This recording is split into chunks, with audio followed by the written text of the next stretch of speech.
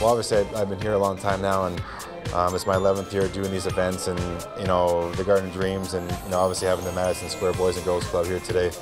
You know, uh, we're just so excited we could be here. Um, you know, it's pretty close to home for us to come here, and um, whenever they need us, we're called upon, and we love coming to these events. First, we want to like, definitely thank the New Garden of Dreams, the New York Rangers, and the kids are definitely loving their uh, place.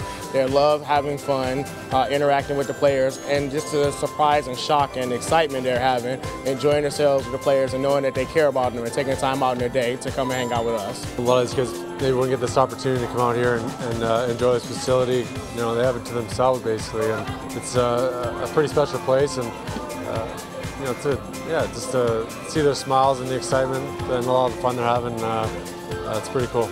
I've actually been here uh, once with my kids before, so it's kind of kind of got to know the layout here a little bit. But uh, you know, they're really excited. Everyone wants to build Legos and see all the ones that are already built. And uh, it was a little scavenger hunt. So I think uh, we just got to build a hockey stick. I was struggling a little bit with it, but you know, I think just seeing the kids' faces and on the rides and all that, you know, you can't really ask for much more than that. I had to pedal my feet really fast. Hopefully my legs feel okay tomorrow for the game, but uh, had to get the thing up really high, so uh, no, it was pretty fun. He was working pretty hard on the bike there, so hard as I've seen him working in a long time.